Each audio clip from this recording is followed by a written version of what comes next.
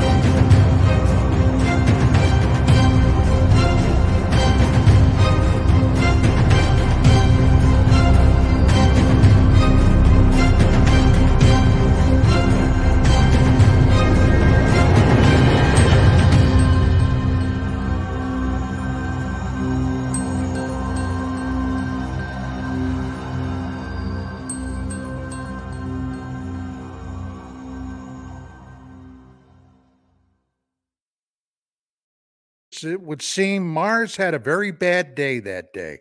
Yes, that was. Well, uh, Not a happy discovery, but a discovery nonetheless. and I, I like that you show it in it, that it was clearly an intelligence that did it. I don't think there's any natural explanation for what happened. Yeah, because it wasn't a supernova.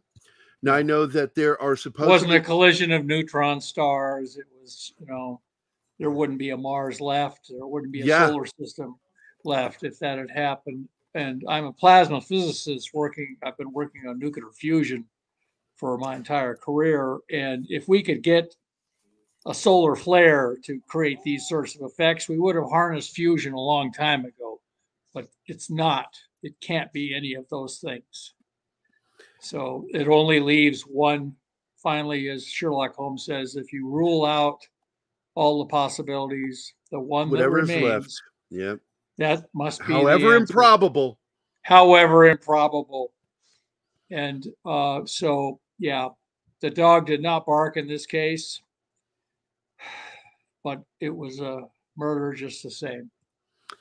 Um, and this, you know, this goes on with something we talked about today. Uh, and it was definitely in the chat earlier too. Uh, Monkey Jeebus, uh, one of our our members, loves to talk about. I remember um, Monkey. Monkey's great, and he, he's awesome. He's right. He's a smart guy. Yeah, Monkey very sharp dude, man. He was talking about, you know, what I've talked about because I am one of those ancient alien theorists that believes in the seeding process, and that you know that we may have been escapees from what happened to Mars. You know, Well, it happened 180 million years ago. I don't think there's much a chance of that, but that's just my best estimate. I don't know. I don't know what happened actually. I have evidence for when it may have happened and what happened, but I don't know why it happened. it's Um, just it's just really amazing that it was that far back because I didn't realize how ancient it was when you were talking about the Oh, first yeah. time. I'm like two million years ago. Like, oh no, it's a stop and think about how intelligent something has to be to do that, to travel to 180 another- million years. Well, we could do it if we had the today. uh, yeah, it, we we could do this. The Russians showed with their Tsar bomb that they could build a hydrogen bomb as big as you wanted. They just chained up from smaller hydrogen bombs to trigger bigger hydrogen bombs. They set off a 50 megaton one. It could have been 100 megatons if they'd added a uranium jacket to it. So that is not a question Uh, of feasibility at all. We could do this thing if we well, had let's let's get resources. something let's get something straight. It wasn't a case of murder, Gary. It was a case of genocide. oh yeah, complete Yeah. genocide. It was a, of it was a everything. massacre, apparently of a prim, what looks to what appears to have been a rather primitive humanoid culture, Stone Age, you know, Old Kingdom Egypt, the Mayans, something like that. Crazy. Toltecs, Olmecs. It's uh, it was not a happy discovery, uh, but what makes me happy is that we can react to it. We can get Well, our there was asses to Mars. Yeah, get your asses to Mars. Uh, a very a very unusual thing happened though in about uh, 1983 84 if you've been following for any length of time the last 25 years of the announcement that the united states government the dod the dia the cia employed military remote viewers you know what that is mhm. projecting one's mind out for intelligence purposes. And we did it for over 20 years. We've got the receipts to prove it that the, the government each year renewed the remote viewing contract. So they were getting something for the money. In 1984, thereabouts, the Central Intelligence Agency employed remote viewers to remotely view Mars about 1 million years ago. John, you and I have discussed this Yes. on a number of occasions. What what's your take on that? Well, it's my understanding that the remote viewing intelligence was right often enough and was corroborated by other intelligence sources that they decided that it was a part of our intelligence and the intelligence the remote viewers found uh, corroborates the picture I have just uh, depicted um, to a large degree. Um, I don't know. There's there's a number of differing details, uh, but that's that's okay. It's that's that's typical of raw intelligence.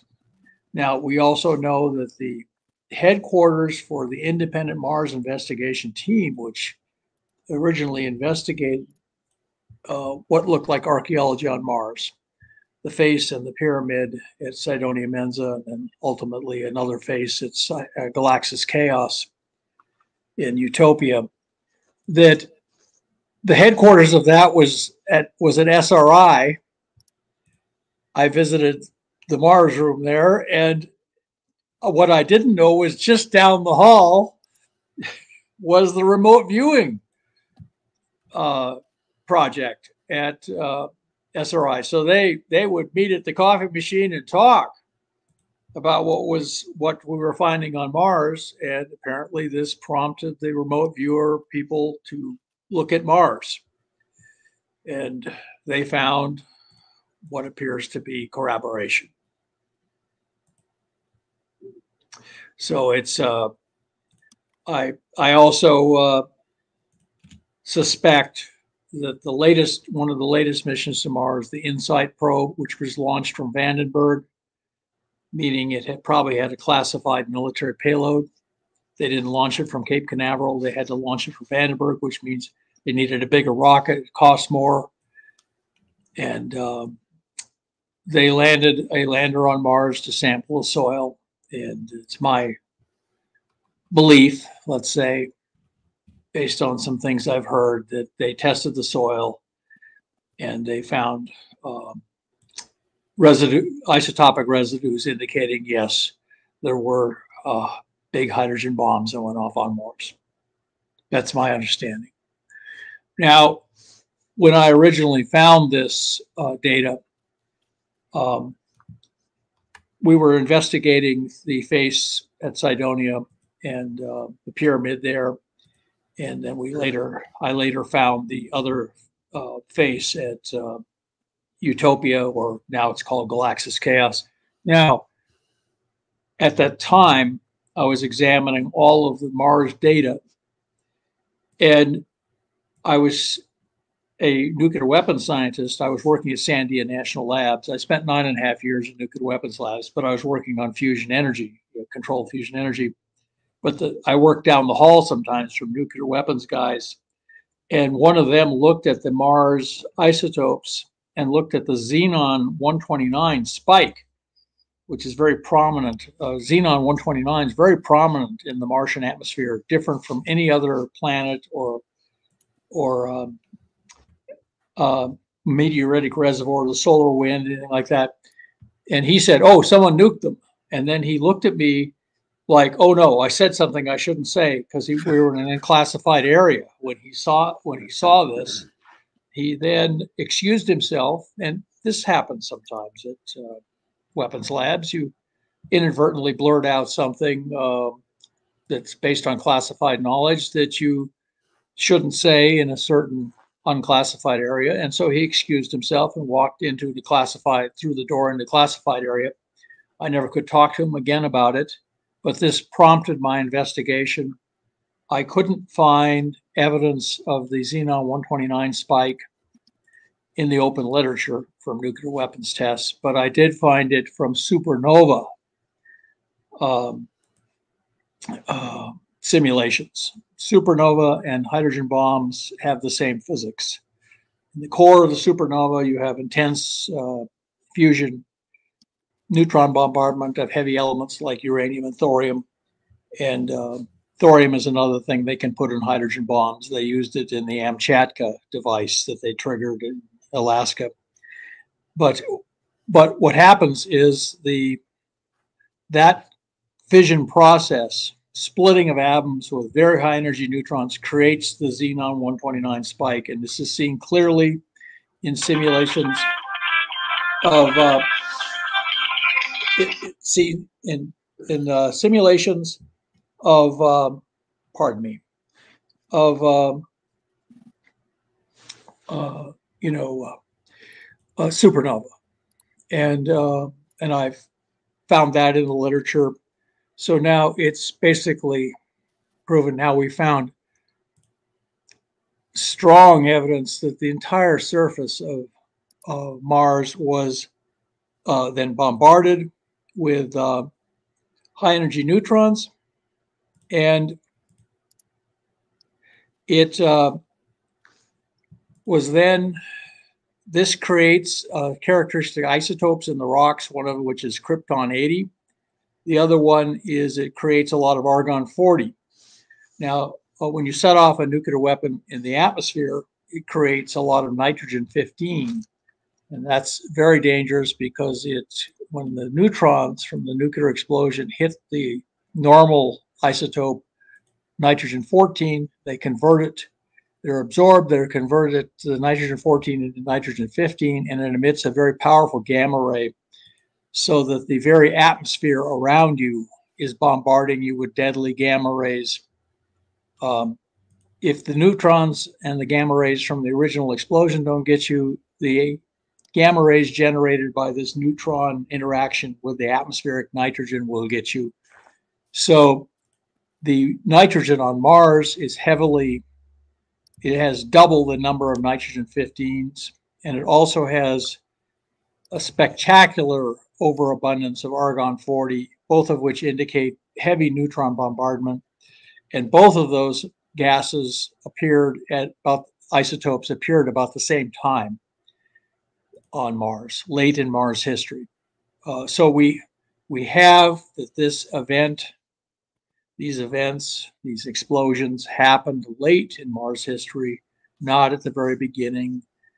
And there is no explanation, by the way, for these excessive xenon 129 that passes the uh, passes uh, scientific scrutiny. It's an inexplicable anomaly on Mars, and now the argon 40 and the xenon of uh, the nitrogen 15 basically um, prove that that nitrogen that uh, this big neutron rich event a, a big nuclear explosion or apparently two of them happened on Mars and about 180 million years ago based on some irradiated rocks from Mars, the Mars meteorites. Now, well, let me let me ask one yeah. quick question. One quick question, John. Sure. When when we finally get there, astronauts, cosmonauts, is this re, uh, residue potentially going to affect the astronauts, no. cosmonauts no. adversely? No, the the, ra- the the the radiation levels from this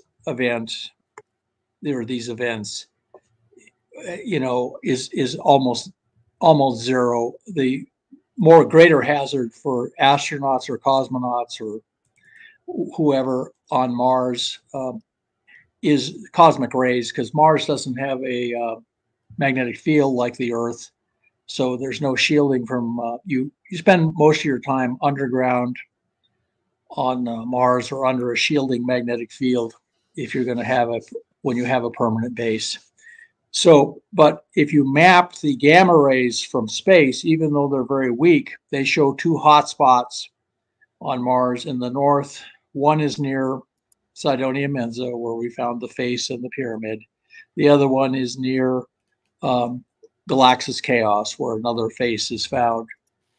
And then if you go around the planet, just like in the video, the shock waves would have converged on the far side of the planet and deposited a bunch of radioactive debris there. That's called an antipode deposit.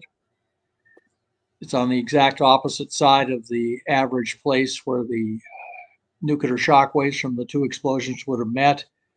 And that is found in both potassium and thorium. Um, so we have a very strong case now that this happened. And Unfortunately, there is no natural explanation. These were airbursts, by the way. If you look at the two hot spots, there's no craters there. It's like Hiroshima and Nagasaki. Something went off in midair and it didn't create a crater. It, in fact, at Hiroshima and Nagasaki, they made the bombs go off in midair, several thousand feet above the surface, in order to maximize shockwave damage and unfortunately maximize casualties. So uh, on Mars, the two things that happened in the north of Mars apparently were airbursts several kilometers above the surface. And um, so there's there's no craters in the center of these hot spots. So it looks like a completely unnatural phenomenon. We're talking hydrogen bombs as big as the Empire State Building dropped from space and detonating kilometers above the surface. The shock waves wrapping themselves around the planet. The energy release was a that was 10 to 100 times greater than the Chicxulub impact that wiped out the dinosaurs, only it happened to a planet half as large as Earth. So it would have completely changed Mars from being a planet like the Earth to being what it is now, almost lunar. So it's a it's a sad thing to find, but we can react accordingly by accelerating our Mars program, send some rovers up there to the sites of the uh, impacts and sites of the archaeology, and get people, get boots on the ground. You have to, you could roll rovers around some of these sites for years and not see anything. You have to get trained eyes, people who can handle shovels, and who are determined to find the secrets there boots on the ground. So, in other words, Now, this is the plan. Get your ass to Mars. yes, yes, precisely, precisely. you asked the Mars. yes, nice German accent. Uh, So, uh, Don, where you want to lead us now on this? Well, this is a uh, when you think about it, it's it's it's so shocking in its revelations. I, I guess my next question would simply be okay, if you're correct, 180 million to well 200 million years 200 million, ago, yeah, round what numbers. does what does that mean to you and I and planet Earth today, John? Well, I would think that the people who did this, because I do not think this was a natural occurrence, whoever did this is long gone, and the law of karma has caught up with them. But it shows you what other intelligence in this universe is capable of. In fact, I I told one person, I said, I have not hypothesized anything happening on Mars that hasn't already happened on Earth. Life, intelligence, and mass murder using nuclear weapons. It's all happened on Earth. It just happened on Mars in a much larger scale. Now, we don't know if whoever did this might come back here. Now, there are two choices we have. We can become spacefaring, we can go up to Mars, find out everything we can about what happened, who may have done this, did the Martians know this, who, who did this to them, etc. Or we can wait and wait till they show up again and then form a space force and become space capable to try and stop them from doing this to Earth. That's your choice. We can either be proactive now, basically declare a Mars emergency, get boots on the ground on Mars as soon as possible to investigate this, exact find out what exactly happened up there, is find out as much as we can. It, our own Well, let me our own to, survival depends on it. allow me to extrapolate a little bit. okay, I followed the search for SETI, search for extraterrestrial intelligence, Oh yes. going all the way back to Frank Drake when he when he uh, led the effort at Greenbanks, searching a couple of stars for evidence of an extraterrestrial radio transmission. Uh, and through all the years since then, including the discovery back in the 70s of the so called wow signal, which was basically one off. Uh, the SETI astronomers did not accept it because they were not able to find a repeat of that transmission. But it was very unusual. it was a wrong sure- number. there there have been a couple of other oopsies in regards to a SETI signal, but I started thinking about this, John, and it's not simply it's not all my my thinking about this, but it has been astoundingly quiet out there. Now that Yes. can mean a couple of things. Number one, the alleged extraterrestrials have another means of communication that we are Yes. not yet tuned into. Uh, on Star Trek, they had that uh, uh, type of communication. They were not Subspace radio. exactly. They were not regular radio communications. Subspace Which- communication with relays. Yes, Yeah. But what if the other beings out there are keeping quiet because they are aware of predatory races out there? Oh, exactly, Don. A true sign of intelligence in this universe may be to keep real quiet. Uh, obviously, we're failing that test. We're broadcasting our presence to everybody around here. Which is actually, if you think about it, potentially very terrifying. Oh, yeah. well, we have to get our asses in gear. Man up. Now, this is the plan. Get your ass to Moss. But here's the other thing. Exactly. if they are if they are coming from another star system which obviously they they would have to be yes. we're screwed anyway we're having a hell of a hard time getting to the moon Not if we're prepared.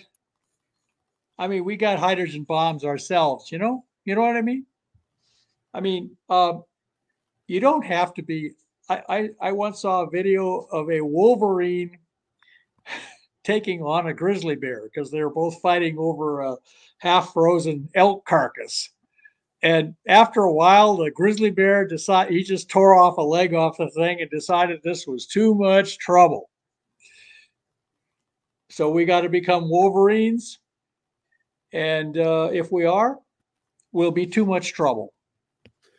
Go Not worth the trouble. Of course, yes, that's, that's from, right. That's from Red uh, Red Dawn. That'll make me happy. This will make me very happy if we react properly to this. look they could sit out there they could sit out there in the solar system and throw asteroids at us Well, we can destroy the asteroids with nuclear weapons. We have them. It's- The- it's really the dinosaurs did not have a space program, nor did they have nuclear weapons. That's hmm. why we are having this conversation. Well, That was part of the plot of Starship Troopers, by the way, if you remember that. yeah. yes. but Oh, there yeah. Are, there are many, many, many asteroids. We have a full belt of them. We don't have uh, not n- near enough Uh, missiles. ladies to- and gentlemen, this it. is Martina Costa Santana, the uh, manager of our chat, and he's actually talking this show. This is cool.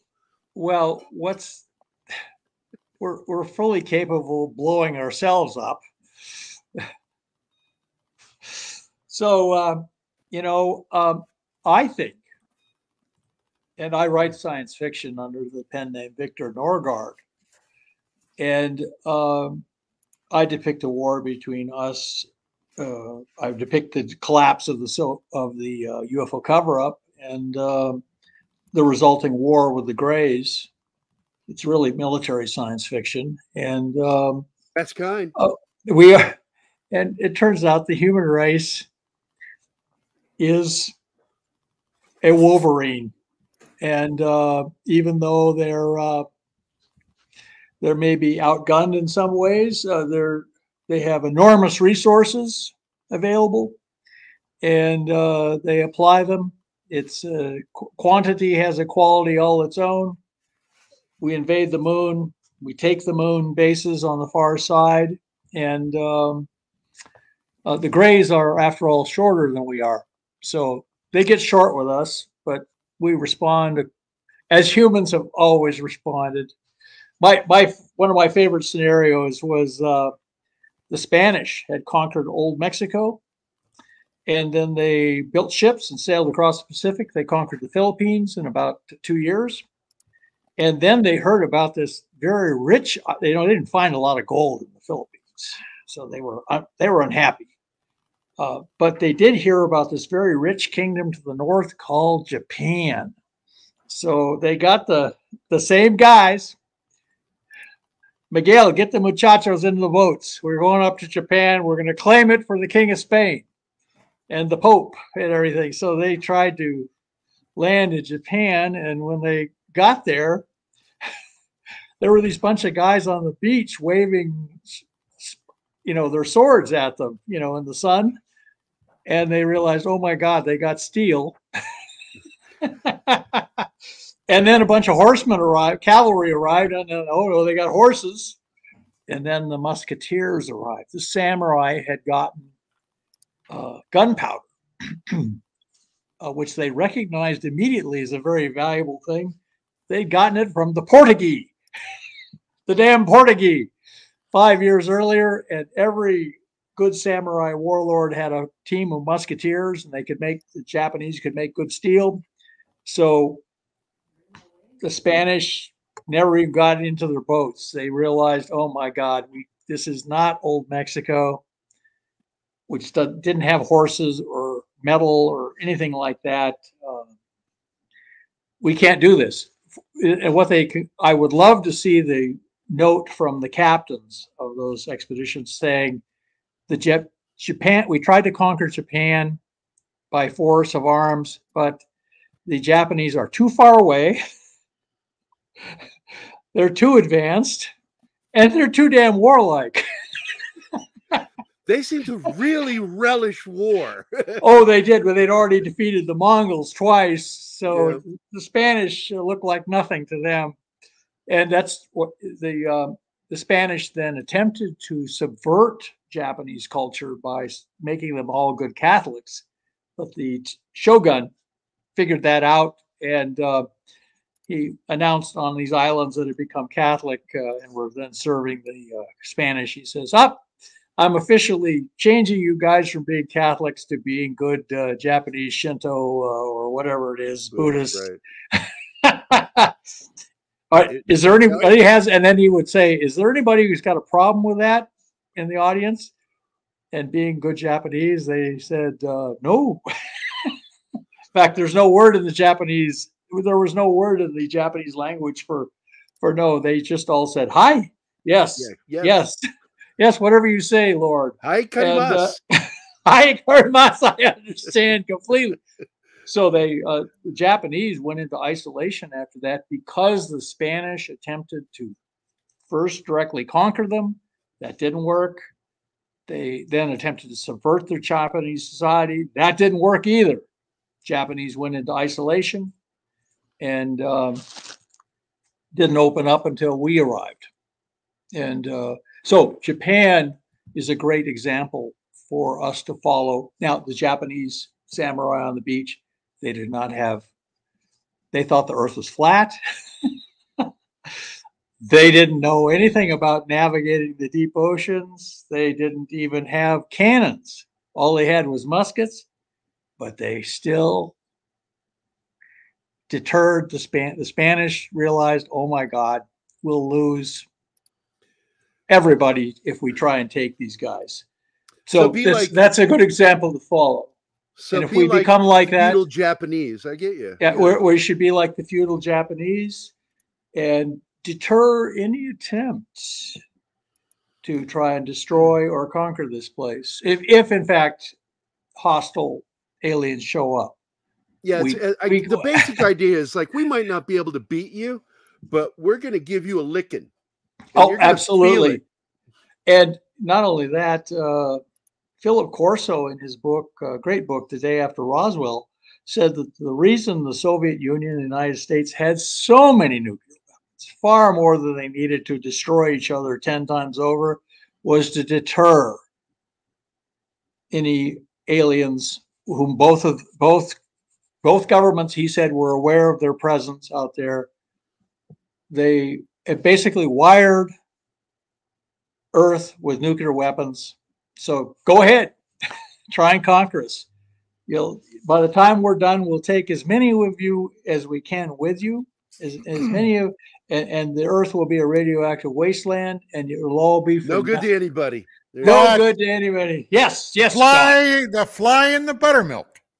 That's The the fly in the fly in the buttermilk. The aliens have shown they can neutralize nuclear weapons. They proved Oh. it on several occasions. Ah, that's only the electronic systems. As I, in my novel Morningstar Pass, which you can see a video synopsis of it on uh, YouTube. Third, the third edition is the most polished. So if if you, in the novel, the two heroines, one is this uh, beautiful Asian, and the other is this beautiful blonde. They're both news anchors, of course, and so they. They demonstrate that you can make nuclear weapons that can be triggered by lighting a fuse with a lighter. you don't need any fancy computers to trigger a nuclear weapon. Yeah, I tell you, All you need, the concern, John, though, is proven time and time again that they even had impacts on the basic m- mechanics of old planes that flew by wire. You know, this is before oh. technology. Oh. So, well, also there are many reports, reports. I- On, I, one of the reasons I've concentrated on Mars is there's data there. In in ufology, all we have, Don, you know, are reports. We can't really be certain of anything, any of them 100%. Now, so there's also many reports that the United States and the then Soviet Union shot down many alien craft. In fact, the, the Russians assumed anything flying, any unknown flying object over the Soviet Union was either American or British. so they would scramble all their MiGs, roll out all their SAMs, and fire away. They lost a whole bunch of MiGs. They lost a whole, you know, they fired a whole bunch of missiles, but they finally brought one down. They opened it up. The Interior Ministry troops arrived, opened it up with a Krobarsky, good Russian for Krobarsky. They looked in there and they said, Yet Amerikinsky. These people aren't Americans. I do want to uh, read one comment that I just saw that made me laugh on camera. It says by my buddy Zax.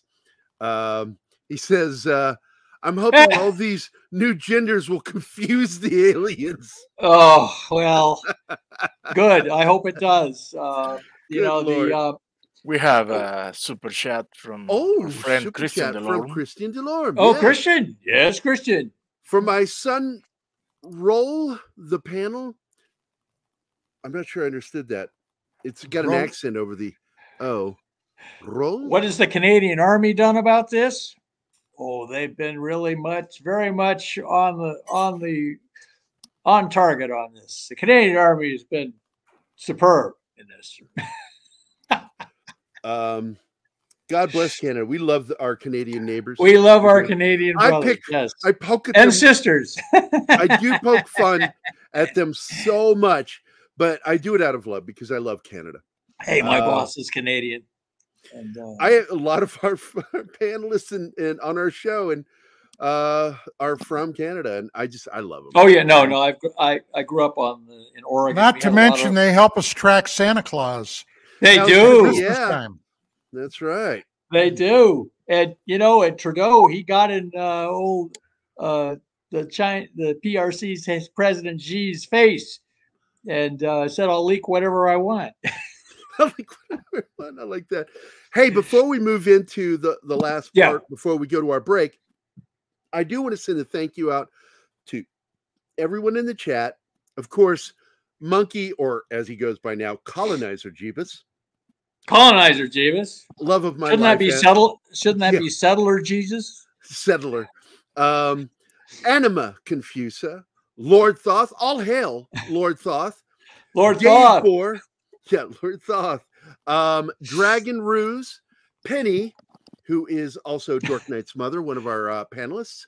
Uh, Oh, he says, "I know what the own show. Canadian military has done." You'll like this. Um, coming in January, all of our shows on Pop Culture Minefield will be coming to um, KGRA. And one of them is a new show uh, called Dork Side of the Ring on Sundays that is all about pro wrestling. And uh, and of course, the host it is Dork Knight, and uh, his mother is in our chat, Penny. Uh, did I say Dave Bohr? I think so. Uh, let's see, Real Wade Nation, Parrot Head, who who was making some snarky remarks about me and Martin, saying that I finally unmuted Martin. Did I unmute you, Martin? Uh, let's see. Scribe Light is here, a good writer friend of mine. Justin T.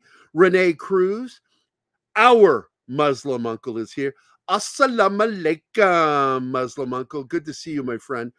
Timothy Mullins, Joe's Atmosphere is the co-host of the wrestling show on Sundays.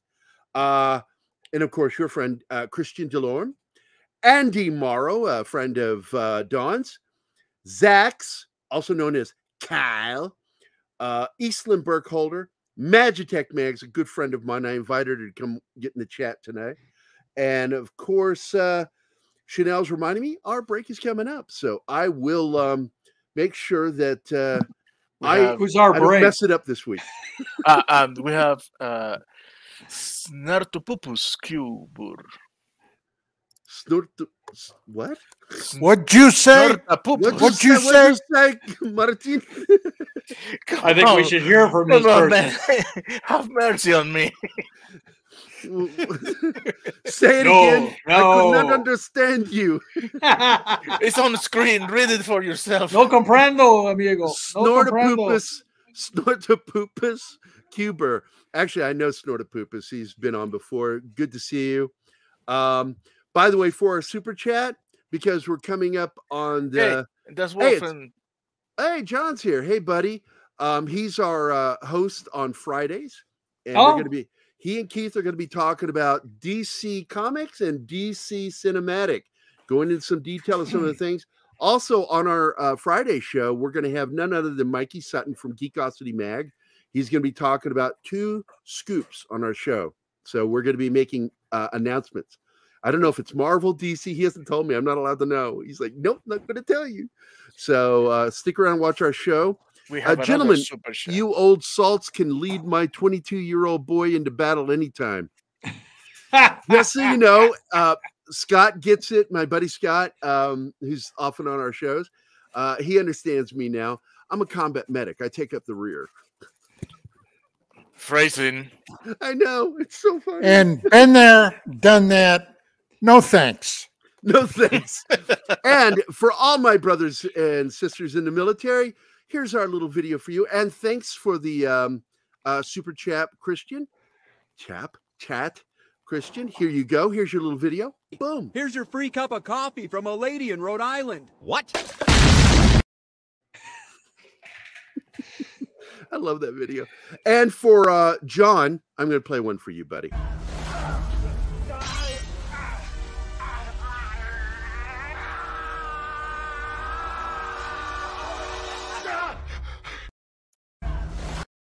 It was just a dream. um, we We are coming another super chat from Oh, super chat from Christian. Christian Delorme. Now, Christian, you were doing this last time. He is Signal Corps in the Canadian Army. We salute you. Um, uh, God bless him for serving. Uh, there's nothing greater than to um, serve your country or to lay down your life for a brother or sister in arms. You know, I've always told people because somebody will say, Are you romantic? I said, Well, I'm romantic in the true sense of the word that uh, the Roman legionnaires uh, would are willing to lay down their lives for their fellow soldier, which is one of the truest forms of a romantic notion is self-sacrifice. So absolutely I'm a romantic. My Every- father and all my uncles on my mother's side were in the combat veterans of World War II. God bless them. Uh, United States, Canada, or Oh, they were United States. United Yeah. States, Army, Marines. Uh, my matters. father was in the Army Air Force, uh, and uh, my uncles were all drafted into the infantry. Uh, Grunts. Got you. Yeah, one of them They served in Battle Europe? of the Bulge, and Yeah, they, Europe. uh, you could tell he was a real combat veteran because he would never talk about it. And Yeah. he only thing he remembered fondly was meeting the Russian troops at the River Elbe, and the Russian troops handing out vodkas, vodka bottles to all the American troops. He that was a fond memory, and that's the only thing he would say. He um, he was in Patton's army, uh, helped in the Battle of Bulge, and then he, him and his buddies. That was they were Third done Armor, right, Don? Uh, well, he was a forward artillery observer. Fourth, was- fourth, fourth armored Fourth, division. Fourth Armored Division. yeah, he was he was in Third Army, which was uh, Patton's army, and then when he finished, they, him and his buddies finished the war in Europe. They were loaded on boats, put on train. They landed in New York City, put on trains, and taken across the country, and informed they were going to be the leading uh, division to invade Japan. And they all thought they'd be dead men. And then they got to Yeah, that was- Sacramento. That was And some the- crazy warfare in Japan. in, Oh, uh, oh, they, they, the, the, the Japanese were determined to fight to the last man, and and he, they stopped the uh, train in Sacramento. Sergeants told him, uh, if you got him, smoke 'em, get out, and if you got him, smoke them. And so they then they heard that the nuclear weapon had been dropped on Hiroshima, and they said, "We think the war will be over in a few days," and they were Yeah, so and- relieved. and people act like this was something that we came to idly and it's like no if you know what was going on the japanese were acting like they were going to surrender but they weren't. Uh, and uh, macarthur reported that they were uh, building up forces in the mountains including building launching fields out of caves. And they said if they prolong this war millions are going to die and we're going to kill millions of them Oh, and so they 10 decided- million Japanese civilians would have died. Easily have would died. And probably the north of Japan would have become occupied by the Soviets. They would have invaded Japan in the north. See, that, So that was the other thing. The Russians were coming in finally. oh, yeah. Uh, The Russians And- had already taken over Manchuria. Even as it Korea. was, Stalin let them go on for a week after the Japanese fell back. Yes. Yeah, and, and a lot of people don't know this that there were actually a lot of Catholic missionaries that were killed in both those bombings. And uh, yes. this was a strategic decision that was made terrible. not lightly. They knew Oh, how no. awful it was. And I was guarantee terrible. you, Truman took that to his grave as, as something that he could never probably ever really let go of. Who could?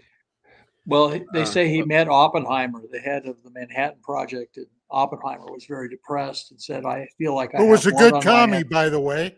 I know. And Truman, its characteristic frankness, said, What do you feel bad about? My hands are a lot bloodier than yours. I ordered you made you built the bomb. I dropped it. He said. That's right. And he said, and then he said to his aides, Get this guy out of here. I don't want to see ever see him again. Yeah, well, he was a self-aggrandizing dude. I mean, it, I mean, don't get me wrong, great scientist, self-aggrandizing. Great scientist. Yeah, but uh, And a also commie. And a commie. and a commie. We have Um, this. We have this. Hey, we can't all be perfect, you I know. received news today that a soldier, a true brother, someone I have known for 25 Yeah. years, fellow major in the Canadian Airborne today, died of cancer. F cancer. You damn right, F cancer. I am heartbroken. And in fact, I'm going to throw my one F bomb for this show fuck cancer. And, uh, but for all the veterans out there, especially all my Vietnam War buddies, here you go. This one's for you. You got any good stories I could tell them about how cool Nam is? You know, there's lots of things you expect in war carnage, the sleepless nights. But what they don't prepare you for is the incessant use of Fortunate Son. Well, I uh, in my uh, it, I write science fiction, and I made sure to put a Canadian Special Forces guy in my first novel, which was uh, 2012 uh, asteroid 2012 Sepulveda. So I have a not only a Canadian airborne guy, but also a bounty is in the middle of the action, And to and get they and they are and they are very heroic, both of them. God to get bless back into the good mood, that's Wolfram breached the do- the back door. Back door. Like the ba- Damn And this John. is my this is my dog Bailey, who is ready to fight any damn commie. absolutely, or the alien That's a good predatory aliens just show up. and for our backdoor breakage, here is your song. Open your back door, baby. Loosen your hinges, I'll show you my key. Yeah, baby.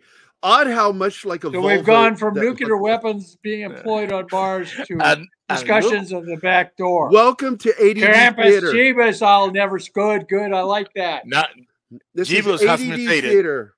Um, we're getting ready to move into our thing here. Uh, let's wrap up in uh, uh, three minutes, under three minutes. Um, Don or John, you want to uh, mention something at this point uh, about Mars before we go to break that you Well, think's important? Mars is a hell of a That- place to raise especially your that kid. may affect us today. Yes. there. Oh, we should get our ass to Mars, find out what the hell happened up there as Yep. much as possible, Amen. and become spacefaring in the meantime. Why take the risk? start moving towards actual Star Trek. Um, Although I, I don't think we'll ever be benign. Uh, government, You know the human race better than that. Greed, power. But the fact Oh. is, I do know that out of all of that, we have had some amazing scientists and astronaut explorers in our Oh. history who have done amazing things. None Despite of all my work crap. would have been possible without the very hard work of a bunch of very serious scientists and technologists and engineers. Amen on They that. supplied all the data I'm using. And as far as I'm concerned, I'm just doing my job to defend this country, to seek its well being and that of the human race as a and the whole. further I'm survival. just doing my job. And And for, yeah. uh, Oh, it, survival would be a good thing for the human race. Number one. It- it's like um, we're going to create like you know Maslow's hierarchy of needs. We're, we're going to create Brandenburg's hierarchy of needs. Keith, First, he's survival. Second, survival. Uh, Uh, Keith third, is uh, in the chat. prosperity. yep, prosperity. Um, the right to seek happiness. It's not guaranteed you'll get happiness, but to seek happiness. Uh, life, liberty, and, and the right Pursuit to pursuit to pursue happiness and uh, and i find in life that happiness is fleeting satisfaction is far more rewarding for me and i've had a lot of satisfaction in this life Here we uh, go back to uh, to previous discussions. Humans are going to Mars. Oh well, there goes the neighborhood. Neighborhood. I'm sorry. yeah you must have read my science fiction. it's like humans are, are are the neighbor that puts a toilet out for flowers in the yard that's what In my humans s- are In my science fiction, I write under the name Victor, pen name Victor Norgard to separate it from my science. Uh, the human race cannot stay out of trouble. It just doesn't it's- really go looking for trouble, but trouble finds it. finds us we Anyway. get overly excited and and don't consider the implications uh it's happened many times you know Well, well, and uh, All I did was play my stereo loud. I hate to and- interrupt. I think we only have time for we'll this. do this no there's no time for Yep. this we're going to do that afterward um the show is yours chanel uh do your thing baby yeah Hi guys, this is Gary from Pop Culture Minefield here on KGRA, and we're leaving for our first break. I hope we survive. Hey members, The new KGRA DB app is now available on iOS and Android devices. Gain on demand access to any KGRA DB programming. Download any show directly to your mobile device to listen or watch on the go. Go to the App Store and search KGRA DB.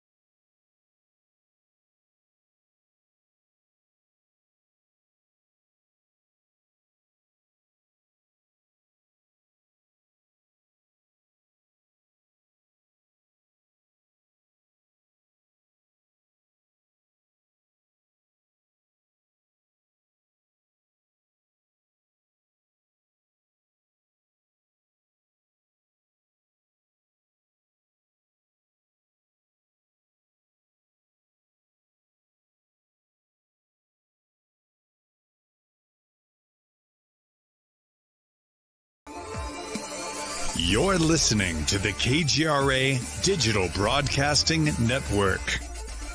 We provide unparalleled coverage of trending news in the world of ufology, cryptozoology, and paranormal phenomenon.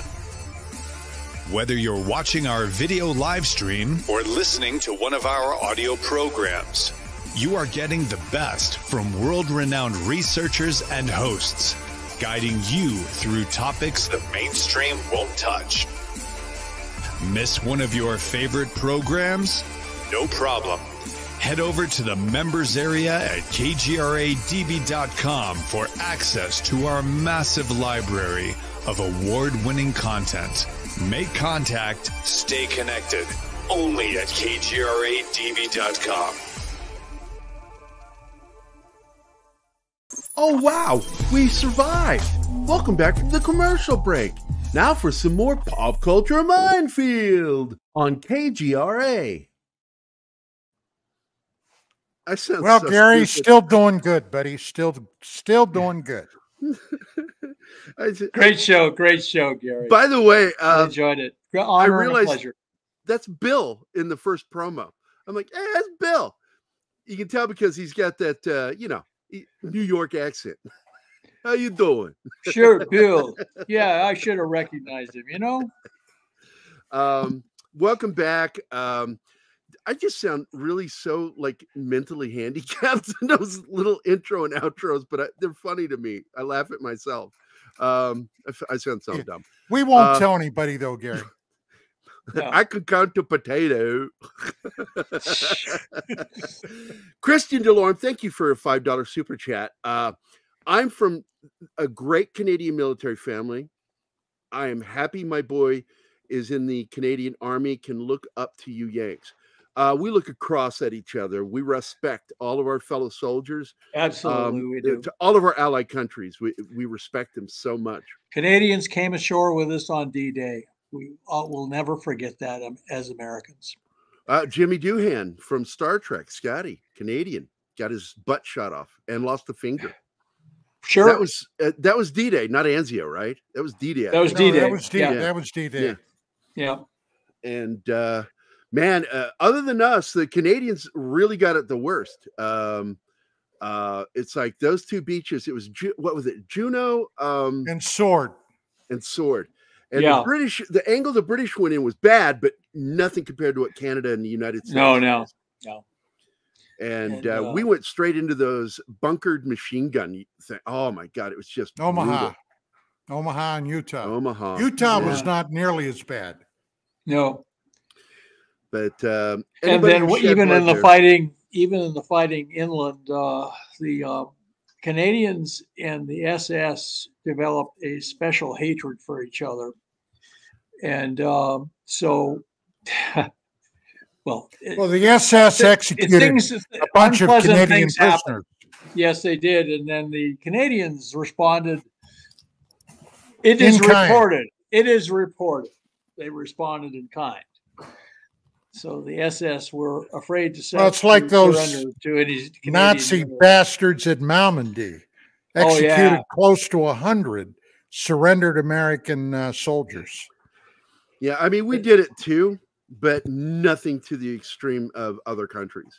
Well, And- SS weren't too accepting of American hospitality after Malmedy. Believe me. Yeah, the uh, yeah, and the Canadians landed at Dieppe, which was a failed experiment. We understand that it was uh, it was terrible, but but we learned from that not to land at Dieppe. You got to land on Oh. the beaches. Another five dollar super chat from Christian Delorme. You are singularly supporting this entire show right now, Christian. God bless you. You're such a wonderful person. Uh, Keith! $5 super chat, and she says, um, "I'm saying Christian. I don't know if that's a is that a lady or a man. I don't know. You guys know because I, I hate uh, you know assuming. Uh, but Juno Beach was big, but my great uncles were in Ortona, Italy. Ouch, that was rough. Yeah, my one uncle lost his all his hearing. He was a machine gunner in Italy. Came back from the war, no no sense of well, he had to wear a superpowered hear- hearing aid, so we couldn't talk much. Yeah, I got to tell you now, Christian. For your video, you get this because it's the middle. Hello, good evening, and welcome to the middle of the film. There you go. Monty Python. Oh man. Uh oh wow. You know, I talked to Don about this. I tried to join MUFON back in the 90s, and the person I spoke to was so rude to me that I, I didn't join uh here in Missouri. I really wanted to join MUFON and go out and do research and stuff. And uh, it's like funny, man. I may have found them on the wrong day. I don't know, but uh, Well, you you had a MUFON drone. I was insulted by the international director of MUFON. it's insulted by a drone. God bless, God bless you, Don. Um, All right. So Keith, what do you do? What how, what's your role in this great uh, fiasco? You know what? I'm I'm more of the dedicated info nerd slash. Sure. Um, I'm I'm I'm more of the info nerd slash uh, historian slash uh, seemingly nice guy, uh, and and and very appreciative member of the group. yes, he's an So- HNC head nerd Well- in charge. I, I'm glad you're here. I'm sorry, but And- as funny as that sounded, you sir are a racist. uh, Keith is why I got into doing this. I would have done this. Oh, well. It's an honor to be on here with you. It's an honor, really, to be on with all of you. So Very good. uh, Thank you. You got any Thank questions for John? Look, um, seriously, what, in your opinion, would be the top three things that you think we must do before we get to Mars? I mean, just the top three things we must do. Okay, is this part of the Brandenburg hierarchy of needs? Should we include that? Go Well, for it, John. I, I, I think, well, look, we've already done one of them. We've launched that big SLS rocket, which performed flawlessly. We've tested the Orion capsule. We have space station modules, which we could just send to Mars if we had the appropriate upper stage for the SLS. Now, what we need is a good upper stage for the SLS with very high exhaust velocity, high specific impulse. And I have, it's as it just so happens, I am the inventor of the microwave electrothermal thruster running on water vapor. We get 900 seconds ISP. It's as good as nuclear thermal. We can have people, especially my my goal is to put people on Phobos, establish a base camp, go down to the surface from Phobos, and we can have them. Uh, I mean, the development time for a rocket that will take upper stage that will take people to and cargo to Mars using this uh, MET thruster, which just uses big solar power panels Mm-hmm. and water. We all know about water that, you know, it's not explosive, it's not flammable. It's very easy to transfer in space and very easy to store in space. You could literally put the satellite up, the, the, the, transfer module up in space, and then send up a, uh, you know, 30 tons of water on a uh, Falcon Super Heavy and transfer the water into the tanks of this thing. But the SLS can be upgraded with an upper stage to take people to Mars now using this. Uh, I, by the way, I've tested a 75 kilowatt version of this thruster. The the running on water vapor, it sent a blue white beam of plasma out into the room. It looked just like the lightsaber from Star Wars, Wow. and it would cut metal. This thing is a super rocket. Can we weaponize that? we got no, we it's, it only goes out a few feet in the air.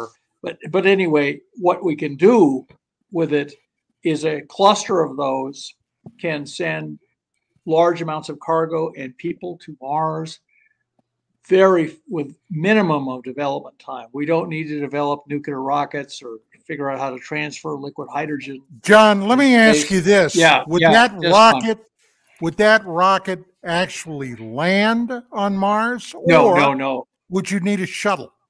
Well, actually, to land on Mars, all you need is a heat shield and then uh, some, you know, Katyusha rockets from the Russians to do a break.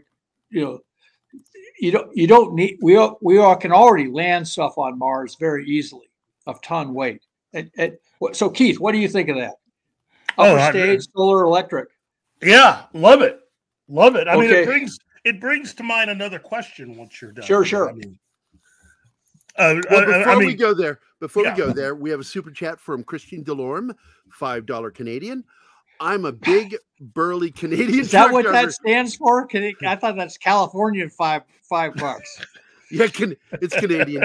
Canuck. I grew up in Um, Oregon. I got powerful feelings about California. I, I, I always re- jokingly refer to it as monopoly money, Canadian money, but um, it is it spins, it spins. So It's definitely not a she. Okay, thank you, and relax. This this is Canadian money. Yeah. Okay, thank Goodbye. you. What's Kristen. uh, and that- that one that- is followed followed by this one. Oh, another one. So two, I get to play a vi- uh, two videos. Uh, and thank you for saying, uh, Dieppe. We Canadians appreciate it. It was a blueprint to D-Day. Yes, it, It was. It was. was uh, basically what everything that went wrong avoid for D-Day. right. And for you, you get this special UFA UFO Day uh, video. You believe any of this voodoo bullshit, Blair? Child? Child? Chariots of the gods, man. They practically own South America. I mean, they taught the Incas everything they know. Boom, baby. Uh, thank you. so There you go. The, the word of authority. Yep. Uh, I got to tell you, man, uh, one of my favorite alien invasion movies is uh, the 1982 John Carpenter The Thing. And I love the original too from Oh 1951. yeah, yeah. The, the original and the uh, and you could tell they were well informed, No, no, no. Complete it's- with animal mutilations. You know. Oh my gosh, yeah. And I heard that Wilford Brimley used to be a rancher and he relished the scene of playing with the the fake dead body with hooves and paws and faces. Oh, he just got into it. This is was the just- 82 version. Yeah, the 82, Yeah, the 82 version, version. was properly grotesque according to the original. You know. yeah now the original story. film based off of uh joseph campbell's uh or not joseph campbell's uh oh what's his name campbell uh something campbell uh it was who goes there Yeah. and in the movie the original movie uh it was actually a longer script and the alien thing was supposed to be squid like have tentacles and everything and uh the producer of it made westerns he says nobody wants to see that they want to see a giant monster a human you know Matt so they- Dillon. Matt Dillon, J- James Arness got put in the makeup. On top of that, when they fired Christian Nyby, who went on to work on Perry Mason instead, um, they took the script, his shooting script, and he tore it in half. Winchester Films owner, I can't think of his name right now. uh, famous for making like His Girl Friday. I can't think of his name.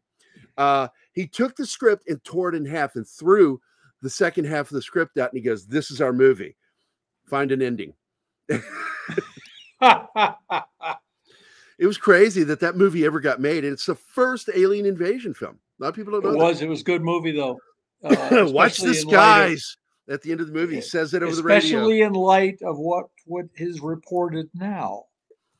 Yeah, because it was in Margaret that window. Sheridan, who played the assistant to the to the chief scientist there, I still to this day find her one of the most Oh, fetching, sexy Absolutely. person, people, women ever. She By was ever- delightful in that. Oh, she was. It was a great movie. And I got to tell you, and one of something the else things I that lit enjoyed up the about screen the was film. her. Yeah. What was so good about that film, Howard Hawks. Hawks did the same thing in that film he did in a lot of his movies, His Girl Friday, all those films. He liked overlap dialogue where people begin to talk over each other. Sure. And it's it's more realistic, more believable. And hey, they were Gary, G- Gary, that happens. People talk over each other. Yeah. You know, and uh, but they were still kind of using just ask it hadn't left yet. there was sometime we're using that North Atlantic accent the way they do films they definitely used it in His Girl Friday, and and it still kind of played heavy in how Hawks pushed the dialogue for uh, the original thing from Another World. But it is a classic film. It absolutely had one of the scariest moments. My dad, who went to see it the opening weekend, uh, he said, "I still don't know what scared me more when they open that door and you're not expecting James Arness there, but you kind of expect him, but then he's there and that arm comes out. And it's the big shocking moment of, of the movie. And he says, or if it was all the screams from the girls in the theater that made me jump. Because he said it just horrified him. He got left out of his skin for that moment. And I just, I love that movie. It's a classic. And like I said, uh, you know, it was the first alien invasion film. And how close was this to the DC thing, Don? I'm not sure I understand. What do you mean? How close? Was it before or after the incident in DC? The three uh, days. Oh, before. It was before. So that's But- that's but amazing. could- uh, the the UFO phenomenon had become very much front page news. oh, Roswell, uh, Kenneth Arnold. Um, you know, we're that we're actually our first episode today, UFO Wednesday. That's what we talked about was the Donald a Keyhoe was was at the top of the game then. Absolutely. His book his book had just been released. and Keyhoe and, was uh, the one that went on TV, right? With um uh Dan Rather. Mike Wallace. or Mike Wallace, that piece of shit. Whoops, that slipped out of my mouth. I'm so sorry. Um, comic crap head. Oh, I, sorry. I don't know what you're talking about, Gary. Don, do you know what he's talking about? I think I have a clue. yeah. I don't like. I'm Dan looking for Rather. a vowel, but I think I got a clue. Uh, there's a U in it, and it may begin with an F. so, um, the I love your Keith, you're tele- back. colorful metaphors there, Gary. Yes, Star Trek. Yeah, uh, I've noticed that you begin to. What was the line from Spock in that, Keith? Where he says uh, that you've been using a lot more colorful metaphors. Kirk. you know, double dumbass on you. Double good. I never heard that one. Oh, that was so funny. I love that movie so much. Um, and if nobody follows William Shatner on Twitter, you are missing the greatest thing that's ever happened in Twitterdom. Is William Shatner, a guy that's what 90 now, um, shitting on young people, just absolutely shitting on them. They'll say something, and I refer to it as hashtag shatting on, uh, because he's he's Shatner, shatting, and it's it's perfect. Why isn't this a thing? I've been trying for over a year, two years, trying to get hashtag shatting on. 'Cause I love the way he does it. He's What- 91 as of this past March. 91 years old. My God, I hope I live that old. And that Oh. man went to space space. for real. It's the 80s. Yeah. He did. He went and did it. He showed Now- what could be done. Stone cold balls on that guy. Stone cold. Yep. And you know, he's he's already told everybody he's got uh, some kind of lung problem, so he has to sleep with a CPAP. uh, a CPAP, Yep. and you know, which is a very frank admission, and but he looks very healthy Mhm. and certainly has a very positive outlook on life, and Absolutely, all admire that. Keith, I I, gotta- hope we all live to be ninety-one. God, yeah. In fact, I made the proclamation, I think about 15, 20 years ago. I said, I don't want to live in a world without Shatner. I hope he outlives me. Because I love having him in this world so much. Well, one of my favorite things was him kissing uh, Lieutenant Uhura. And he didn't all really. suspe- we all suspected he, they had a thing going. They actually never connected lips. Uh, Oh. And you were supposed to catch that, that he was, re- they were both resisting because they were being forced to kiss. Oh, oh yeah. Well, I still had a crush on her anyway. Oh, yeah. Who didn't? Here, here I'm in- growing up in a lily white town, and I have this guy right here met her. her, uh, ah, oh, very good. Yeah. Well, she- Michelle she was- Nichelle Nichols was a. I've met every single member of the original cast, with Wow. the exception of DeForest Kelley. So I They- they- got to play a Star Trek trivia game with uh, Jimmy Doohan, and it was I love that man. I loved him, and he beat me. And uh, but what I, I noticed about him was the permeation of, of booze through his pores because you could smell it on him. That guy was a drinker, but my God, that guy knows Star Trek inside and out, and absolutely crushed me playing um, uh, Star Trek trivia on a local radio station up there in uh, Seattle.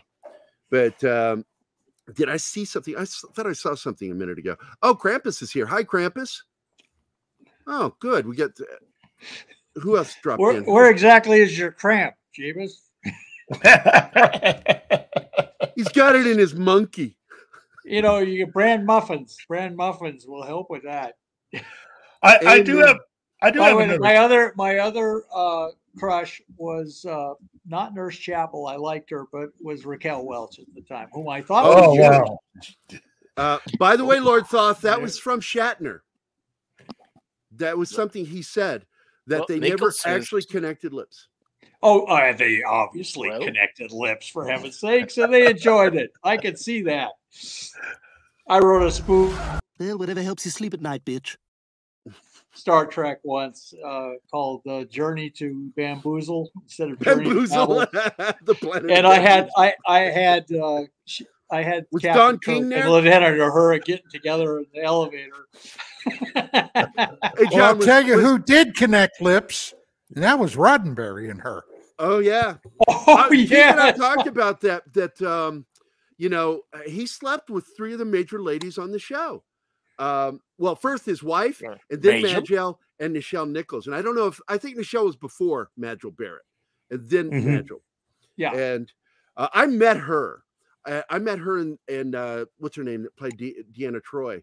Um, just a delightful moment uh, meeting them and talking to us. I was at a Star Trek convention with my Star Trek art that I did for uh, it was official artwork, and uh, I was just so excited to get to meet you know the voice of the computer, and the guy, the Yeah. chick, the chick that had kids with with uh, you know the I, creative I was so inspired by that first Star Trek. Uh, And what do you know? Oh, yeah.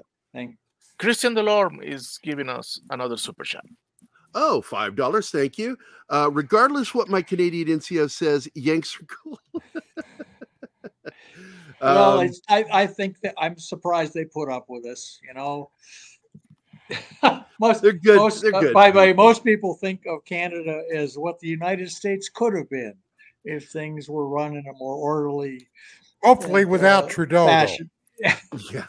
Um, And, and uh, for your your five dollar super chat, you get this little wonderful moment from cinema history. Human sacrifice, dogs and cats living together, mass hysteria.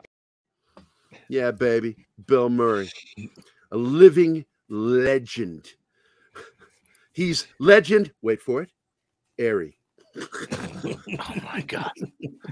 Well, the story, by the way, the story I heard was that when Quebec was going through one of its uh, attempts at separation from the rest of the Canada, the, the Party Quebec, uh, they delegates from um, British Columbia and uh, I believe it was Alberta or Saskatchewan came to visit Ronald Reagan and asked, "Can we join the United States if Canada breaks up, you know. And he said, he said to them basically, Will you guys get your shit together up there? he says, You wouldn't be happy in this country. Believe me. He says, Go back up there and get this shit squared away. Yeah. And of course, they did. They, uh, you know, the party of Quebec lost the election and they've been bitter about it. You know, one of the gaming, one of the gaming companies, it might have been strategy and tactics. I forget. I, I was really into it back in the day. But when all that problem was happening between the French Canadians and the British Canadians, one of those gaming companies came out with a game where they had a civil war in Canada. Yes. And Canada got really upset about that. They were really do you do you guys recall that? No, I don't, but I'm going to be looking it up after the show to see if I can play it.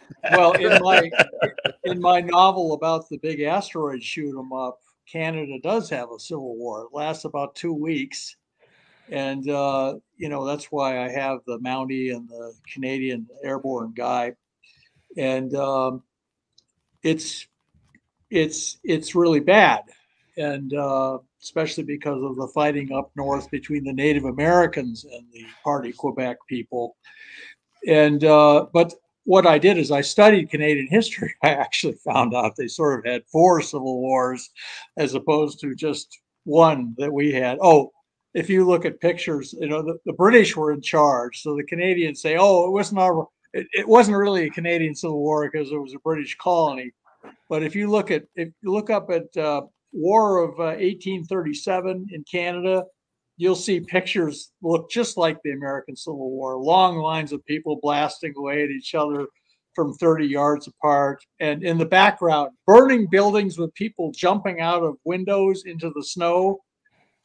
There's another thing of a bunch of people jumping out of windows to the snow and being bayoneted by either British or Canadian militia. So the, the, being Canadians, they don't talk about these things. But Well, let's not let's not forget our history. Back in the in the mid 18th century, along about 1756 or 7, Yeah. the French Indian War began here by French coming down into what is north well, down into what today is the United States.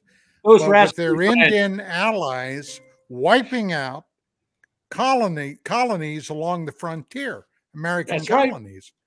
One of the most vicious wars that America ever fought, including the Civil War. Yep. Oh well, it the, was vicious. the Canadian, uh, uh, the French, French, uh, French and Indian Wars showed the Americans that the British Army was not invincible. Braddock's defeat Oh my uh, God! was just And- such and a who massacre of the British, but the Americans militia was there? under uh, George George Washington, Washington was, was there. He in fact started the whole. He in fact started the French and Indian War. He started the war. Much to A lot his of people chagrin. don't realize that. He and the party he was they were going to what was Fort became Fort Duquesne. Yeah. And uh his party, I don't know if it was actually Washington one of his guys, shot and killed a French diplomat. Well, he was And- called a diplomat by the French. It may have been just a French rate, French and Indian raiding party. We don't know. Well, that was the excuse. Reports reports are a little shaky from that time. We don't. They didn't have the internet to, to give us truly reliable information. Hey, Keith. Um, Unlike- reporting unlike- live from, you know, 1759. Keith, hey Keith, how is it there in revolutionary time? Um, I, I, I, I can't understand it. I mean, all, all I know is I got people trying to whip me to get back to work. So, well, uh, as somebody who has uh, a few lash marks myself, I understand that. Um, but it's uh, you know the the French and Indian Wars convinced the uh, American colonists that the British Army was not invincible, uh, having seen them break and run on numerous occasions, and uh, the Americans militia really learned how to fight. well, the American French and Indians Indian taught us, you know, Oh, how oh, to oh. do guerrilla warfare. And Oh, I well, want my- to point out too that the War of 1812 got started because some knuckleheads in DC said, let's invade Canada and make it our northernmost state or whatever. And it's like, I, that was the craziest thing. But I always say that war was necessary because the Revolutionary War got us our liberty, but we didn't earn respect from Britain and King George until we kicked his ass during the War of 1812. It's true. It's true. Well, And- actually, we didn't do much ass kicking until after the war was over. The after the war had Officially. already been New Yeah. Orleans. New Orleans, typical well, Colonel up of war. Jackson, Colonel Jackson down there, 1814, took a little trip along with Colonel Jackson down the mighty Mississippi. I Yep. took a little bacon. Hey, and I took some beans. And I fought the bloody British in the town of New Orleans. I sang we that fired song in our English guns, Pud. And the British I kept sang it, coming. John. British we kept fired coming. once more, and they began to running. That's Yes. right. down the Mississippi, It to was- Gulf of Mexico. Those were veterans, by the way, of fighting. We have another super chat. Oh, Christian says, um, gentlemen, uh, countries aside, you men stood true and tall. Oh, somebody said somebody about- said something nice about uh, my I comment always about talk nice about Canada having having its own interesting history that they never talk about. Uh, Well, I'll- I got to tell you, way- they stopped us in our invasion attempt. Oh, I know they they fought very us well. dead they in our fought very hard, and they stopped they stopped the Americans from uh, trying to invade Canada, which I'm very grateful for. They're like, sorry, mate. By the way, Uh, Canada would be fa- Canada would be a fabulous place, even if it wasn't our northern neighbor. Amen to that. And um, uh, but yes, uh, Christian, thank you again for your super chat. Oh my gosh, I'm almost running out of videos. Here you go. I want you to do me a favor. I want you to tell all your friends about me. What are you? I'm Batman. I'm Batman. Well. I, I got to tell you, um, I love talking military history. I may not, I don't always know everything, but I have a good working knowledge of a lot of it because my dad was, well, a teacher of history, and uh, and he raised me in colonial Fredericksburg because so many battles were fought there from Revolutionary to Civil War Yeah. and uh, it was the center of a lot of things. It was uh, a- lot of shipping was done through Fredericksburg back in the day. Um, it- it- you know, up the Rappahannock from the Potomac, and it's a wonderful state. I, I love Virginia. It's beautiful. I'd go back, but that state's not big enough for me and my ex-wife. So um, I miss Virginia. It's beautiful. Have you been there? Have you ever been there, John? Oh, I used to live in Virginia. I lived, What part? uh, oh, northern. I, I was working around the Beltway. I was a Beltway Buccaneer. Okay. Uh, around. I lived in Fredericksburg. You know where it is. during the Reagan arms buildup in the Cold War. Yep. You know where Fredericksburg is. It's 50 miles south. Oh yeah, yeah. It's a nice place. Nice place. Yeah, it's like a lot of people commute from Fredericksburg in the Stafford area to DC. Yeah, it's a the nice commute place to gets live. pretty rough during the winter. By the way. the And we Beltway, I'm telling you, I have there's only three places where I've seen traffic worse. And one of them is on the uh, 405 um, in um, California, Northern California. I California. was going to mention that.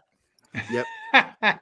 when I was going from, it was fine in the morning heading from uh, uh, Sacramento all the way to the Bay, but on that trip home, it was like bumper to bumper, just moving, edging through, and I'm like, oh my god, why am I doing this job? It's killing me. This traffic is killing me.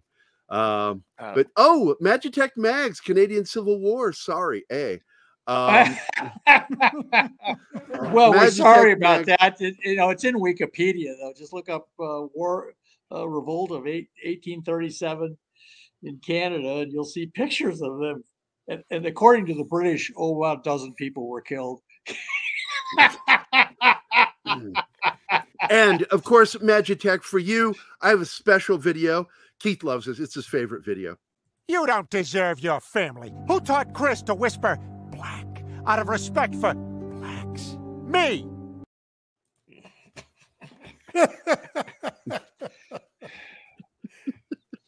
Keith puts up with so much for me. It's pretty good. My Well- goal, John, if I've never told you this, starting this show, was to get him to fall out of his chair during a show live. laughing. I just I just enjoy doing that. Just saying completely inappropriate things, messed up things, knowing his his Keith, family. Keith is actually wearing a seatbelt, so he can't fall out. yeah, keeps him in the seat. But I love it when he falls asleep and starts to. Oh my god, yeah. Because uh, let me tell you something about this guy. He works all night and then stays up to do these shows, and then sleeps afterward. And I feel so bad for him that I often don't, won't bother him in the morning to join us because I want him to get some sleep. But absolutely, there's an ongoing game of who can catch Keith sleeping on the show. don't get Uh-uh. mad. No, Keith. there, It's there's just- no, such game. There is no such game. No. But my dedication to to to what we do and how we do it and the fans that we've made, I mean, Yep. you know, it keeps me coming back and wanting to do the best that I can. So, you know, Oh, that's and you do, buddy. You do. Yep. Keith is um God, man. I l- I do, and I mean this. I look forward to when you retire. So I know you'll still have to do something because retirement's going to be all that great, but it'll be nice to have more. means of- doing something else. And I I know I sound just like Mel when I say this, his wife. Uh, it'll be nice to see a little more of you. thank you. Yeah, you're welcome. I think when she says it, she means something else. Uh, I hope she means something else. I, I'll mention I'll mention Keith.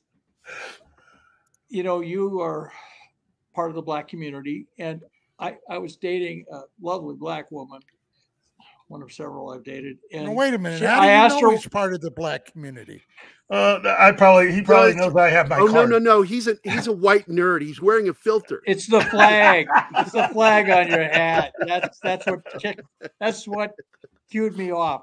Now, so anyway, so I asked her one day, you know, I said, uh, you know, why isn't the black community more interested in the space program? Because I was a, I've always been a space cadet. And she just said, Oh, we don't think that far ahead. She says, we just think we're focused on the here and now all the time. She said, well, I don't know. Could you is is that that was several years ago. Mhm. So what what do you think is the attitude right you know like when I show that oh this big thing happened on Mars, we should go to Mars. What is the reaction of the black community to something like that?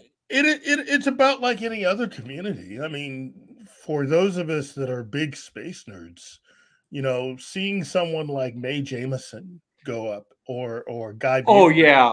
Yeah. You know, we're inspired and we want to see more. And, Okay. and given the participation of Nichelle Nichols post Star Trek, Oh, and what she was attempting to do in bringing in more women and more minorities into the space program, that's definitely something that that that did have a tremendous effect. But then again, I did you meet know, her. I did meet her once, and she's a screamer, not a groaner. I'm just, kidding. Sorry, I never did. I never did have the pleasure of meeting her and I- honor of meeting her. even when I met her, and and this was only a few years back. I mean, she she had there was just something about her. Oh. it's just I saw her. amazing, and uh, again, I I I had to tell her it's like, uh, and I'm sure I'm not the first person to have ever told her that, but it's like I I just any thoughts of going to space, I told her was because of you. I, I, I, I, I just found. And can I have your phone number? well, my wife was standing there, so Oh, that would have, that would have been There you kinda- go. There Just- you go. You slipped her a napkin, is what you did. Okay. Um, I'll, I I'll, gotta- I'll just, you know. I just, I was gonna uh, mention one other thing. The uh, Bolden, who was, you know, General Bolden, was also a former uh, black astronaut on Mm-hmm. the shuttle. He ended up being in charge of NASA. He said, "Going to Mars is essential to our survival." Get your ass to And- Mars. get your ass to Mars. and uh, I, you know, my own understanding was he was told to shush up. You know, don't. Oh, really? Don't say why it's essential to our survival. But you know, just like everything else in this country, so much is obscured, Yeah. and um, it's just like it's like the the galaxy spins because of dark matter. And nobody can figure out what it is, but it makes everything move. It's just like Washington, D.C. What are you talking about? I have a cup of it every morning. Cleans me out every day. Oh, Um, I tell you. Hey, I, I want to go to Oh. the chat for a couple of things. First, uh, welcome Master Players and and uh, Master Players Radio and Television Plus Gaming. Um, welcome back. Good to see you. Glad you subbed. Yeah, some crazy stuff. Um, you're dealing with a bunch of silly. I mean, we always say it. Welcome to ADD Theater. We're gonna we're gonna have some fun. That's what we're doing. We're having fun. I know about this stuff is crazy ass, but it's the truth. It is true. As far as I Um, know of it. Exactly. And thank you for becoming uh, a member. Very, very kind of you. And once again, every Wednesday on the morning show, UFO Wednesdays, uh, the gift from us to you is you get to join us in the after show and talk with uh, Don and any guest that joins us that show. And uh, it's something that we want to show our appreciation to you guys and um, and gals. I I don't differentiate. Guys means girls to me too. But uh, also in the chat, first of all, um, I do want to say that uh, Brian is here. Pop Culture Minefield, Gary, you are welcome to enter Canada by the back door at any time. Brian, um, you're a filthy bastard. Lucky you. He's from Scotland originally. He's a, a wee Canadian now. uh, thank you, buddy. I appreciate it, man. I love you. Uh, Oh, for you, just wanted I'm to mention give- mention Oh. one interesting thing to keep. I saw this interview between Nichelle Nichols and uh, she was and she talked about she wanted to quit the show. She says, "I'm nothing but a glorified telephone operator." Yes. As I thought, oh no, she she completely underestimated her impact. She's completely. a deck officer. but she she but she said that she had dinner with Martin Luther King, and he said, "Oh no, By request. By request. I just I I request you stay on this. What an incredible conversation and encounter. Well, And you also have to think of the reach of people of color at that time period. By 1966, you probably only had one other television show that featured anyone of color in in a leading role, and I think that was I Spy with, Yeah. with Bill Cosby. Bill Cosby. Bill Cosby. and um, you y- you didn't see very much else, uh, and and I think for Dr. King, it was just important to actually see people out there Oh, doing she the was- job. She was very than- visible. Oh yeah, but I mean that that's the Especially in those that- net stockings she wore. Oh, Oh, jeez, yes, gosh. Um, And- but and uh, once uh, again, it's important to remember she was an actual uh, officer in command uh, Yes. of her Yes, she position, was. and that was, I mean, how you couldn't understand how important that was, I don't know. She Yeah. missed that mark, and and I'm glad that Martha Martin Luther King noticed it and said something to her Yeah. because Oh, I yeah. think it would have been a horrible loss. Oh, But it would have been With that said, I want to play this this video real quick for both Christian Delorme for again a five dollar super chat Canadian. In the War of 1812, tell your Yankee subs why you guys call it the White House. because they Oh, burned it up. They burned that down. um, They they sat down. The British and Canadian troops sat down and had a. They they they found a banquet all set up in the White House, and they made rude toasts to the pictures of Dolley Madison on the wall. yeah, I I'd tell you, know man. that Uh, for that super chat, you get this very simple video. Fuck. There you go. And for um 70 show for your um uh, backdoor breakage. Then get your ass to. Wouldn't you know that back door would trigger a trap door? Yeah, and look where we landed. in the back door. Okay. And Um, 70s has another. Oh, super you chat. son of a bitch. Uh, Brian with five dollars Canadian because he's up there in Alberta. Uh, Christian and I are getting ready to invade the U.S. with our. Oh my god, I love poutine mortars. and Poutine! maple. I will eat. Uh, Fat Steven Seagal, a good friend of mine, that's uh, our. Don, I co-host on happen to know that I happen to know that we were invading Canada in 1812 for the poutine. Yeah, French fries, gravy, and cheese curds. Oh, It's like- Absolutely. I was told about this. I went, "Oh, it can't be all that good." Then I ate it, and I went, Mhm. Don't forget the Molson beer. "Oh, well." I, I was more. I liked uh, Moosehead personally. Um, Molson's was good, but I always liked Moosehead. The problem with Molson's for me was uh, they use green bottles up there for some reason, and every time I got it, it was um, skunky. You know, because the green bottles allow ultraviolet light in, and it, it turns beer skunky. But Moosehead, we got it quicker, I guess. I never got that experience with that. It's a true experience. If you've ever had it, it's gross. When you go to drink a beer and you smell sulfur and it's like tastes funny, but you're like, it's still beer, and you drink it because it's cardinal sin. You never pour out a beer. And uh, for your thank you video, this one's just for you, Brian. Absolutely for you. Where do they teach you to talk like this? In some Panama City sailor want a hump hump bar? Sell crazy someplace else. We're all stocked up here. Good old Jack. Uh, what the Lord thought says, if and it's not, oh yeah, if it's not Scottish, it's crap. and Christian Delorme. Are we going to get to do any more of the show? You guys are throwing super chats at me. Uh, I love you, 70s. You're a gem. Yes, he really is. Um, I think what broke my heart this week, because I talked to Anima about it, is that my schedule is so tight that I, you know, I have to quit doing his show on Mondays when he does his Monday shows. Oh, it's And- anima, not anima. I kept. Yeah, her real name is Danny, but um, uh, we call we all call her Anima, and it's from it's from the Latin Anima Confusa, uh, also Jungian psychology. Um, love you, seventies. You're a gem. Thank you, and for you. Oh my God. Okay, here's this video. This evening is ruined. Look, I- wait, what? This evening is ruined. The whole evening is ruined. Why are you saying it like that? Saying what? I'm just pointing out the party's ruined. You know what? I'm not going to get sucked into this. There you go. And uh, phrasing sucked into this. Okay. Um, so Nichelle said that was an absolute true story. Yeah.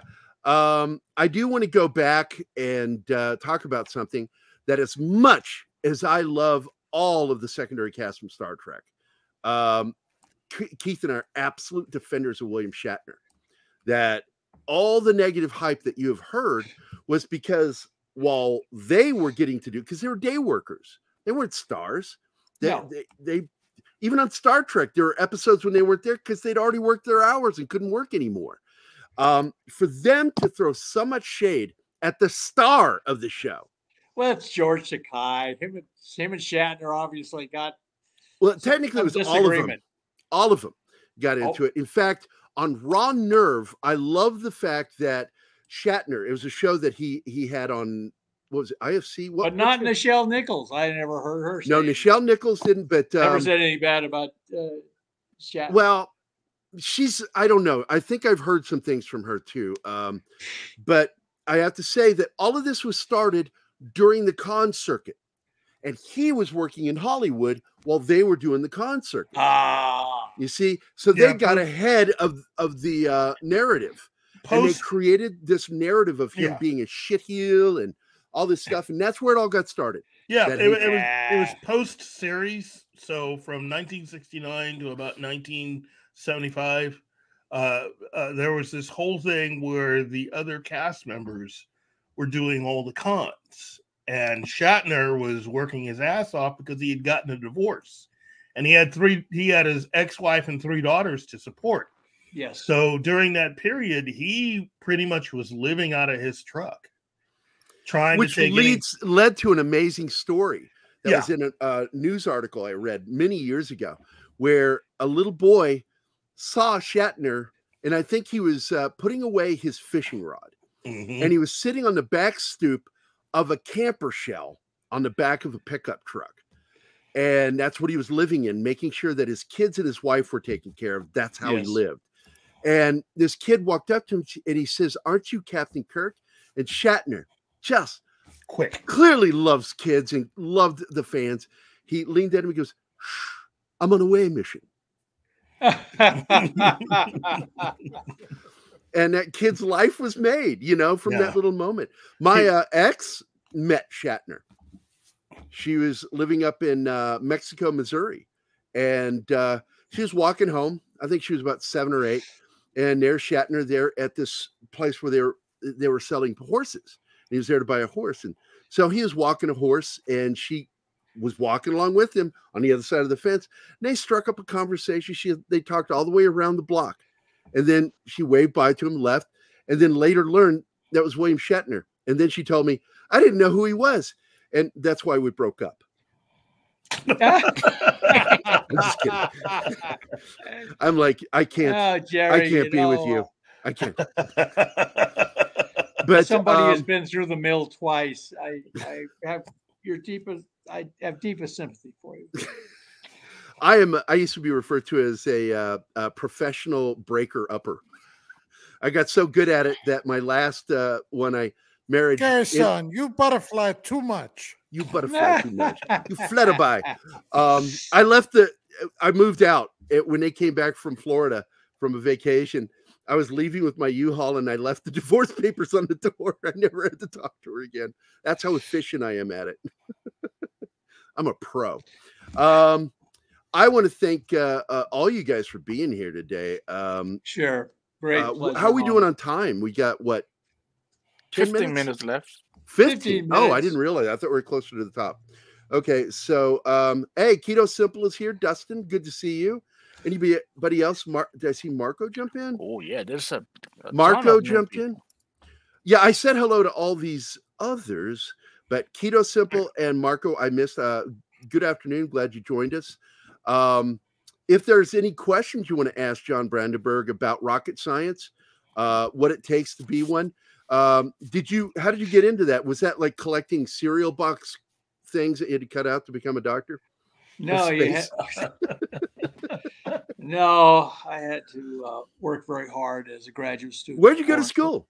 Lawrence Livermore National Lab. I went to a graduate school called Teller Tech. I went to I went got my bachelor's degree at Southern Oregon University in Oregon, and then went south to um, California to work at uh, a place called Teller Tech. It was a well, it was a graduate school set up at Lawrence Livermore National And Lab, that's where you got they your built PhD.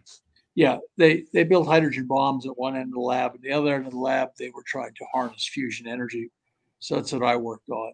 Uh, but um, at various pro- times, I was actually down near the weapons end, and I worked down the hall from like the people who invented the neutron bomb, and they were Oh. so pleased with it. Oh, you remember that? Yeah, the clean Oh. bomb leaves Oh, everything oh, standing oh. and just destroys all life. we're standing there. I'm just this graduate, punky graduate student, which is the lowest form of human life. And I'm standing there by the coffee machine, you know, drinking my coffee. And this guy comes up and he says, you know, we've invented this neutron bomb.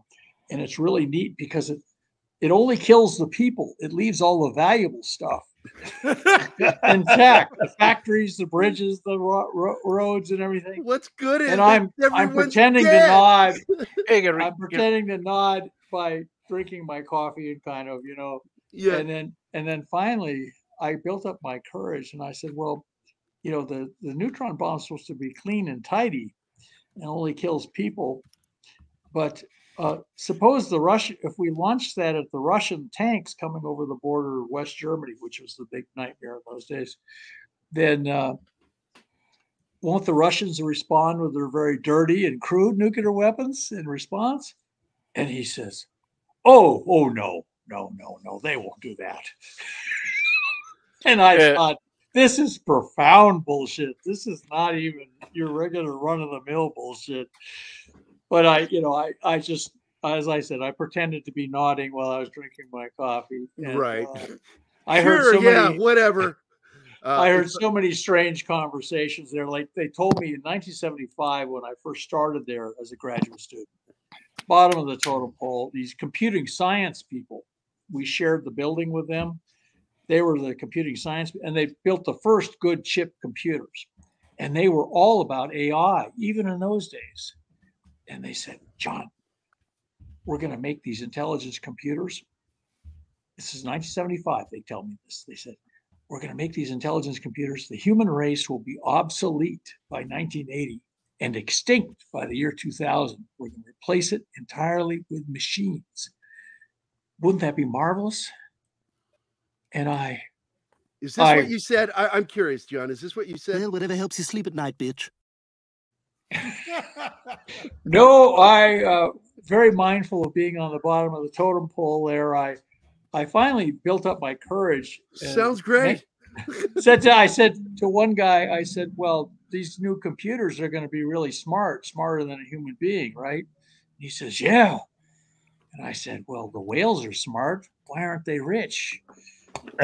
and, and he he looked at me like, "Oh, oh my God! I thought you were one of us, John. I thought you were on board. You don't wanna get it. impress You don't me? get it. Hand him a can opener and tell him to open a can of food. Then a computer might impress me. I well, I, I actually the the Terminate the movie Terminator came out shortly after that, and it was because there was it, it was California. There was a lot of talk like that about you know computers taking over and uh, replacing. Oh, and by Well, that's way, what War people- Games was about too. these people think they're going to be uploaded into the computer and have eternal life. oh, your- they do. s- Your soul. I know, be in the Pete. I know you're looking. You're looking like, oh no, that's Brandenburg is just is just. Oh no no no no no no no! I know you're saying, but what they're actually thinking, I mean, they do realize. This is like some lunatic cult, like the Hale Bopp Comet, you know, Heaven's Gate characters, and you, you know, no computer. As, as soon as it runs short of memory, it's going to start erasing. Yes. Whatever. Sorry, need more memory space. We have And- a uh, question for you, John. Yeah, yeah. Uh, from Das Wolfen. Uh, he says, "How close are we to cold fusion?" Oh, I think we're still quite far away. I, I'm a hot fusion. Do you guy. think it's that they're not putting enough research into it? That they can't find a way to make money off it, so why do it? Well, the problem with cold fusion is it's cold. If somebody melts down something, then I'll be impressed. But you know, you can't. You you can't. It's it's good enough that they're getting good enough results to heat bath water, and that that could be valuable. But we don't. They don't have a theory. They don't have. It's just very frustrating.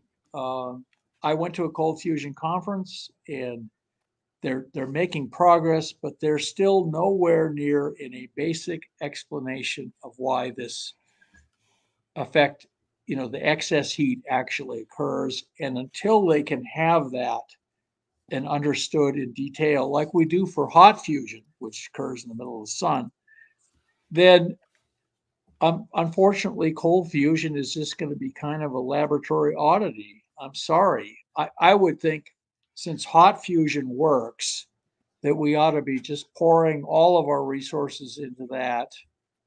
And um, and you know, I have my own uh, project called the Texatron, which hopes to well get a We're short going to make need a to short get you back on again, John, because we got to wrap. Uh, sadly, we have reached the end of the show. Okay. Um, John, thanks for coming. You got to come back, man. I like having you. Oh on. yeah, I'll be, I'll be back. Don't You're worry. You fun to can't hang try and keep with, me dude. away. I'll be hanging around your back door. Oh, no video. We Not, don't the way you think. Not the way you think. I, but I'll be. Uh, yeah, no, I'll be around the neighborhood. I'll be in the neighborhood. You'll see You'll me be in the down on the neighborhood. corner. Uh, Chanel, Our doctor and call. You can play us Doctor out. Thank call. you, I am a everybody, for being doctor. here. Second A happy, happy Thanksgiving to everybody. Yes, Pete, no thank you shows so much for joining us. No shows. Happy Thanksgiving, everybody.